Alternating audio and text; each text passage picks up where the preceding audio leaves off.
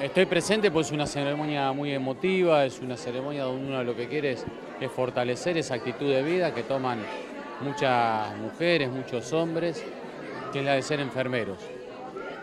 Y porque se necesitan, porque cumplen una labor humanitaria, técnica muy, muy importante, con las cuales sin, eso lo- los hospitales no podrían funcionar.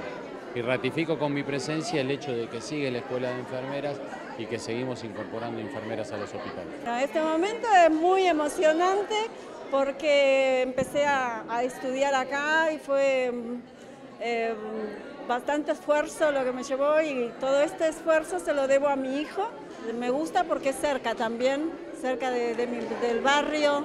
Me da todas las posibilidades tanto para poder trabajar, estudiar y ocuparme de mi hijo, de todo. Eh, No importa la edad que uno tenga, sino la meta a cumplir y la verdad que este lugar es muy bueno porque tenés muy buenos profesores que siempre te empujan a todo, te ayudan a buscar las informaciones, eh, no te dejan solo. Estudié acá tres años, muy bien, la verdad que estoy muy contenta porque te da la posibilidad de estudiar y de participar también en los hospitales. Trabajé en Boulogne y me llevé una experiencia buenísima, aprendí un montón. Que vengan acá, que se anoten, que es, eh, es un ambiente muy cálido, hicimos amigos, veníamos y estudiamos, charlamos, tomamos mate, los profesores son muy copados.